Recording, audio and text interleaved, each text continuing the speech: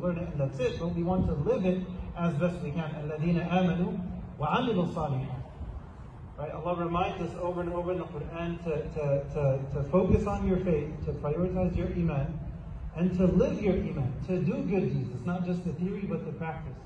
So last time we talked about Prophet Ibrahim salam making this beautiful dua, and the answer to that dua was the greatest person to ever walk the face of the earth, sallallahu alayhi wa sallam. Tonight I want to, shift gears a little bit, and I want to touch upon something else briefly. I want to keep it a little uh, shorter because it is a little colder uh, tonight and we're supposed to be people of rahmah, so we wanted to keep these things in mind.